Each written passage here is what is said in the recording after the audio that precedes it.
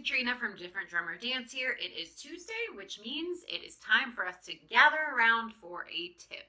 So today I'm going to be sharing one of my go-to classroom management tools. I'm sure you've been in this situation before where you're teaching a young or an early childhood class and things are starting to get a little bit crazy. So you might have one particular student who's not having a great day and is getting a little bit unruly or the behavior is getting a little bit out of hand. So this is what I like to do in those situations.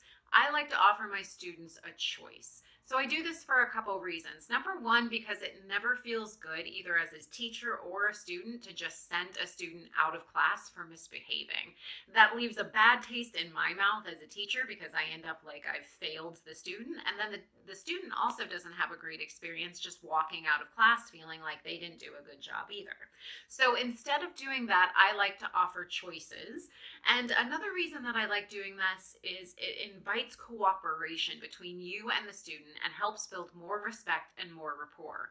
Additionally, it develops problem solving skills. So you're actually empowering your student to help give you feedback to solve the problem together.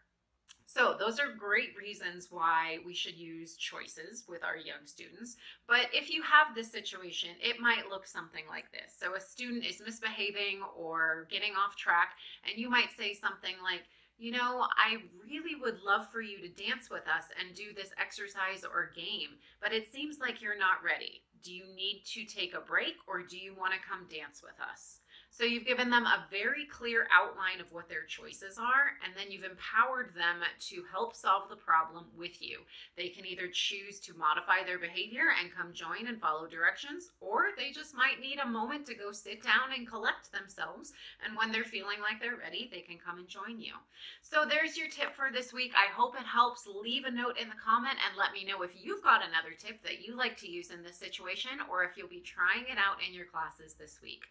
Happy dancing, dancing, and I'll see you next time. Bye.